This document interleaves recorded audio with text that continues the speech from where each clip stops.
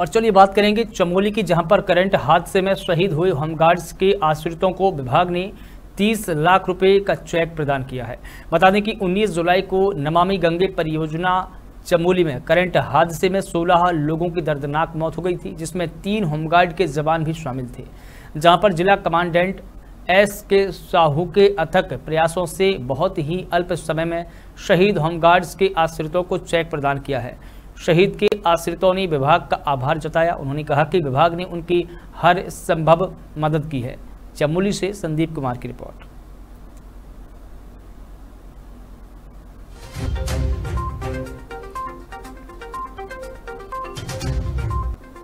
घर में आया।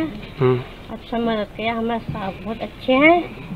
सब ठीक है हमारे साहब अच्छे भी है शहीद हो गए हमारे आर्मी इज़्ज़त बहुत अच्छी हुई हमारे यहाँ पर सैलरी अकाउंट होते हैं होमगार्ड के जो सैलरी अकाउंट है उसके उसके उस बिहार पे देते हैं। अब होमगार्ड को जो सैलरी अकाउंट खुलता है सर उस पर हम एक्सीडेंटली कुछ भी होता है तो उसको तीस लाख रुपए देते हैं। उसके चाइल्ड के अगर बाईस साल से नीचे का बच्चा है उसका उसके चाइल्ड के लिए बेटी के लिए चार लाख रुपये और बेटी बेटी के लिए आठ लाख रुपए और बेटी के लिए चार लाख रुपये का हम अनुदान देते हैं। जुलाई 2023 को हमारे नमामि गंगे ट्रीटमेंट में हमारे तीन होमगार्ड्स रेस्क्यू टीम में शामिल थे और वो शहीद हो गए थे।